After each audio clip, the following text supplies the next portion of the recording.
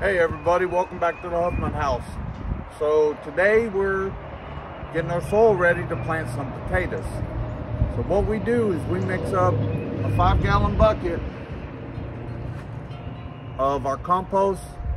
We mix up a five gallon bucket of vermiculite, half vermiculite, half perlite, and then a five gallon bucket of peat moss uh, for our potato soil. We throw in some rock phosphate, some bone meal, a little bit of uh, agricultural lime, dolomitic lime, and that's it. So, scooper.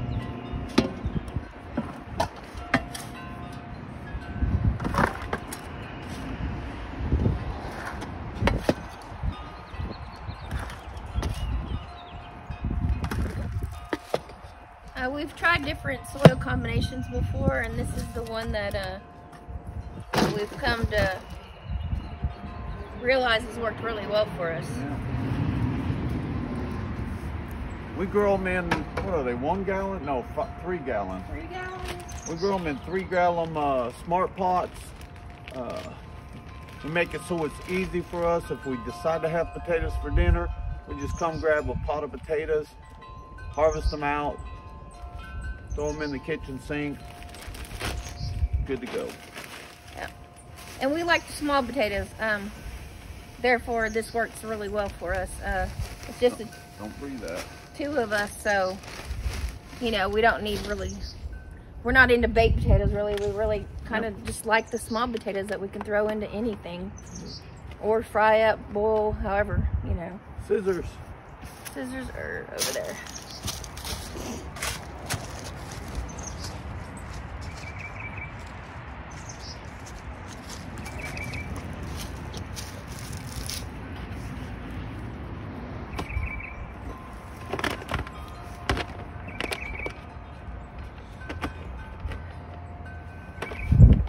Y'all ever have that problem where sometimes you get it just right and it undoes itself and other times you cannot get it to open up for nothing? Let's try this side.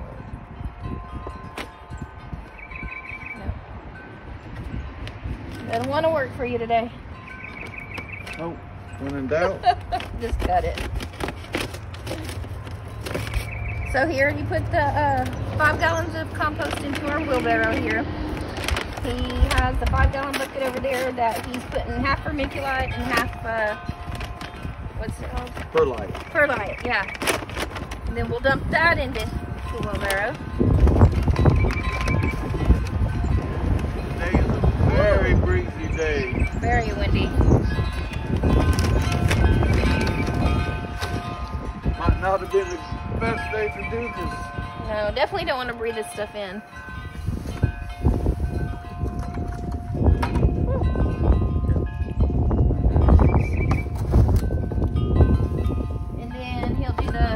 Helps if you moisten it, keep the dust down.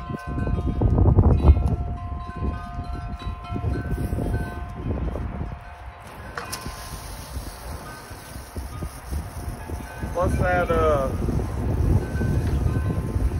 peat moss is gonna need some moisture anyways. When you first open it, being that it's compressed, it's gonna be hydrophobic, uh, which means basically it doesn't like to absorb the moisture. But as soon as you get it wet, tends to hold on to the moisture really well.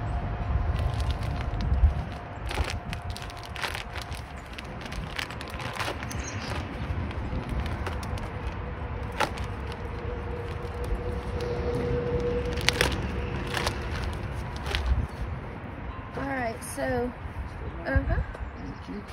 Again, the ratio is five gallons compost, five gallons peat moss, and a five gallon bucket that is half vermiculite and half perlite. Now you don't have to add vermiculite. You can use straight perlite and vice versa. Uh, just helps with uh, water retention, soil or nutrient retention, and makes it a little, little bit more loamy. Not quite so heavy, so you get a little bit of aeration out of it, so your potatoes don't sit in water right? Because potatoes do not like to have their feet wet.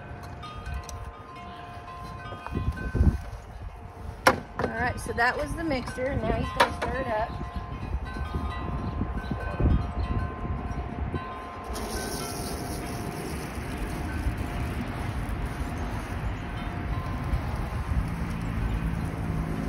We've also uh, done this where we mix it on a tarp. I don't know if you've ever seen that. Uh, we don't have a video of it, but you just take a tarp and you can do it in a bigger amount than what we're doing and uh, put your ratio onto the tarp and then you just kind of move the tarp around, you know, kind of fold it this way and fold it that way and mix it up.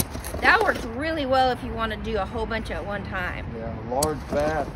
But since we're just filling those small little three gallon, gallon buckets or pots, uh, we don't have to mix up quite a much. Right. Quite much. I mean, if you think we've got 15 gallons, so that's enough for five pots. We're doing 20 pots.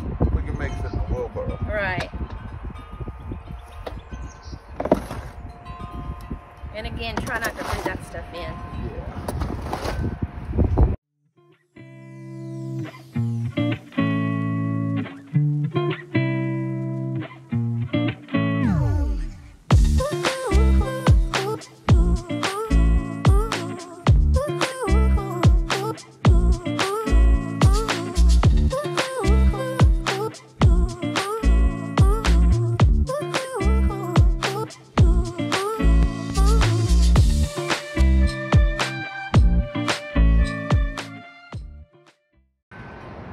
All right, so we got the, our three items mixed up together.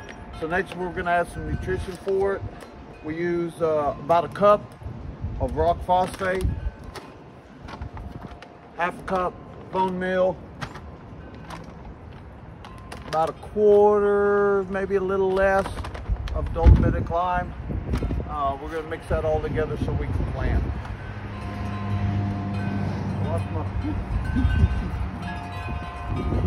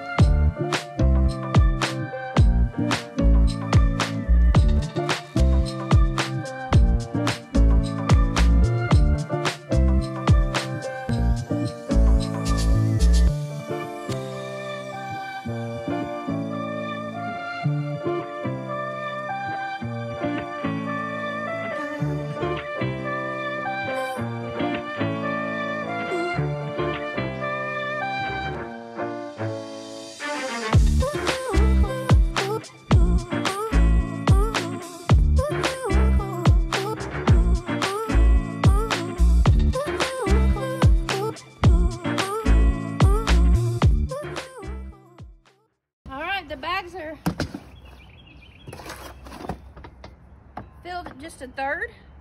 And uh, I'm gonna go get the potatoes and we'll be right back. Okay, so we have six of our bags here. Uh, we like to add an organic fertilizer. This is just uh, Espoma's Garden Tone. I think it's like a five, six, three, a three, four, four on the NPK. I just go about a handful, add it to that bottom third, mix it in real good, plop our potato in, and then cover it up.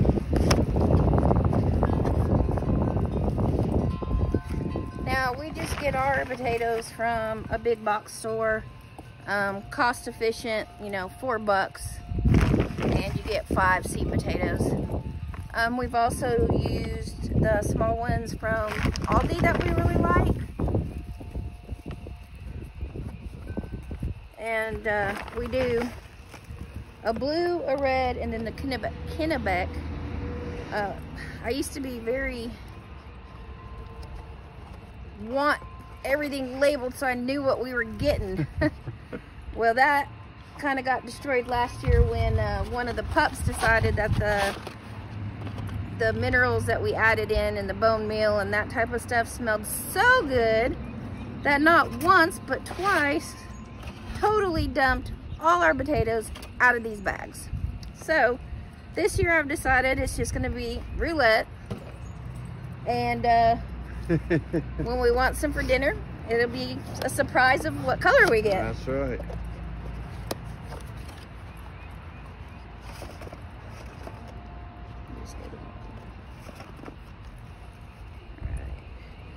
So again, he filled it one third full. Added a little fertilizer, mixed that in. Set the potatoes in with the eyes up, or the chits, whichever you want to call it. And then he's just gonna top off the bags. This is how we've been doing it for about four years. It's worked really great for us. Exceptionally well. Um, I know, you know, as you, whether you're a first time potato planter or you've been doing this, um, you'll see people do things many different ways. There's not just one way, to, you know, to do it. There's a thousand ways to skin a cat. Some just leave less fur. so, so uh, hopefully, you know, this maybe gives you an idea or some inspiration on uh, how you may want to do it. Yeah, so get out there and grow some taters. Yes. Again, you don't need a big in-ground plot to do this. You could do this on a balcony, on a small porch. Um,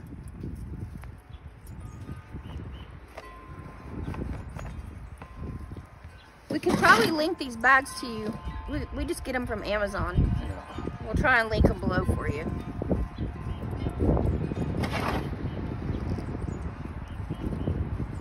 And you know, a lot of folks will tell you you got to hill taters and all that. Know, throw dirt to them. You know, if you're growing in bags, especially bags as small as this, you put them at the one third mark.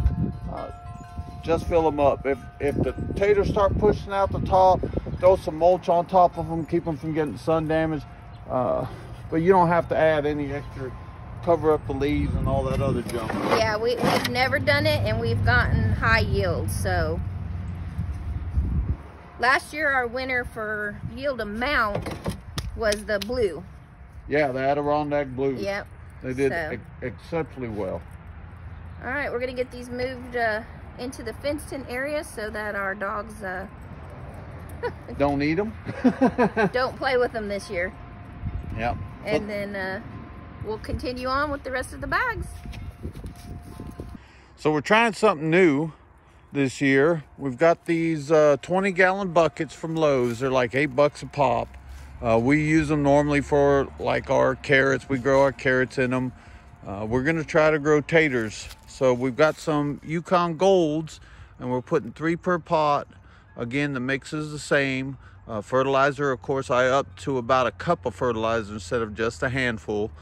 Uh, we're putting three of them in each and we have three buckets. Now these are not going to be kind of harvest when you want dinner. These are going to be let them go until they're done and then harvest them all at once because I'm not toting that big 20 gallon bucket full of soil and taters. Thank you for joining us in our garden today. Hope that you learned something as far as growing potatoes or maybe even just a new way to grow them. And uh, we'll be keeping you up to date as we show other things that are, are growing in our garden. So yeah, don't don't be afraid to experiment. Definitely. Yep. It never hurts to try. You're not losing anything. Till next time. Y'all keep growing even if it's something small.